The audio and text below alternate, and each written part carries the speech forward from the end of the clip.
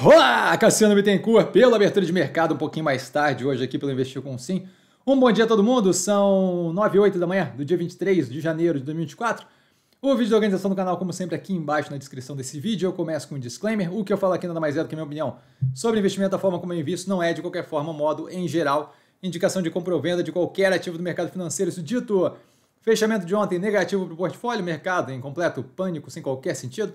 Tá, o volume fraco, acontecimentos, a gente teve o aumento da posição de pets no portfólio em 40%, nos 3,43%. Está alinhado com o que a gente vem falando nas análises, no vídeo das operações de 2023, tudo casado ali com o esperado.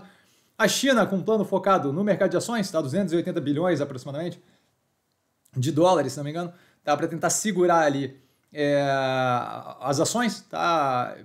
Na minha visão, só aumenta o problema, é uma péssima ideia, tá? Você vai auxiliando quando você ataca o sintoma da coisa e não a causa da coisa, você só está criando uma bolha, só está inflando uma bolha. Então, o que vai acontecer é que os ativos vão mostrar uma visão muito mais positiva de uma economia que vai estar muito menos positiva, de modo que você está distanciando a realidade da impressão que é passada pelo mercado. Isso deve inflacionar preço de minério de ferro, deve inflacionar preço das ações locais e isso daí não é positivo, porque eventualmente aquilo ali volta à realidade e quanto mais tempo eu tenho do distanciamento do que está efetivamente acontecendo com a economia, que é um arrefecimento contínuo, da impressão que isso tem do mercado, maior é o tombo quando eu tenho o casamento com a realidade. Então vejo isso como uma péssima, péssima ideia, vai, vai ter ali uma. Vai, vai inflar uma bolha que nesse momento ainda não existe.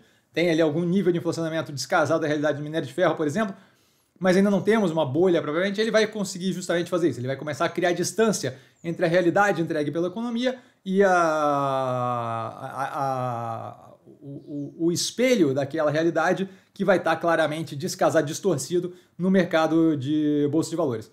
Plano anunciado pelo governo de 300 bilhões de reais até 2026 para a indústria é justamente o que aparentemente causou o pânico generalizado no dia de ontem, tá? chamado Nova Indústria Brasil. Ainda é uma carta de intenções, não tem basicamente nada definido ali. Falou-se, pretendemos gastar 300 bi em subsídios e investimentos é, no, na indústria brasileira, vai ser o plano safra da indústria brasileira, não falou de onde é que vem o funding, não falou como é que vai ser o plano, descreveu vagamente ali três áreas e vagamente de onde virá os recursos, os dois ministérios e o BNDES.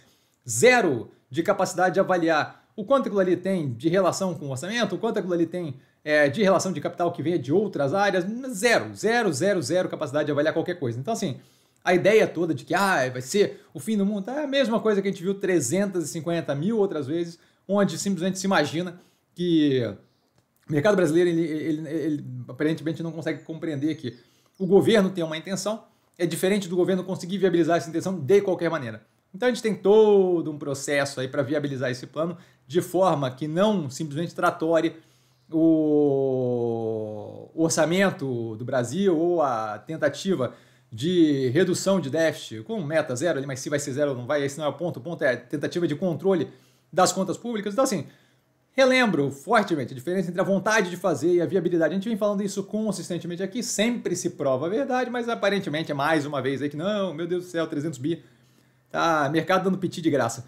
Acionistas do Pão de Açúcar aprovando aumento do limite de aumento de capital, tá justamente abrindo a porta ali para o follow-on, isso dentro do esperado quando foi comentada a possibilidade desse voto já foi recebido super bem pelo mercado, então não esperava que fosse mal recebido pelos acionistas que fazem parte do mercado justamente. Petrobras, falando em aquisição planejada de 2 gigawatts de potencial de geração de ativos fotovoltaicos eólicos, isso aí deve dar uma aquecida nesse mercado, a gente tem ali ativos que têm posições aqui, a Apivida confirmando a investigação do Ministério Público de São Paulo, a Ambipar emitindo Green Bond para a rolagem da dívida, tá? o prazo médio ele vai de 3,5 anos para 5 anos, o que é bem positivo. Tá? É um liability management bem interessante, uma gestão de endividamento bem positiva. Isso daí é algo que foi comentado com um pouquinho mais de detalhe num short e real ontem. Tá? Por último aqui a Energisa confirmando o follow-on e colocando valor ali, né, 2,5 bi, quase espirrando aqui, 2,5 bi é, de valor esperado ali na oferta primária, ou seja, 2,5 bi que é esperado de entrada de capital para a operação. Ativos que eu estou observando mais de perto com base no fechamento de ontem, todos do portfólio, dado justamente o pânico generalizado sem qualquer sentido. E dúvida? Dúvida eu estou sempre no Instagram, arroba com sim. Só ir lá falar comigo, não trago a pessoa amada, mas estou sempre lá tirando dúvida. E vale lembrar que quem aprende a pensar bolsa opera como um mero detalhe. Um grande beijo a todo mundo.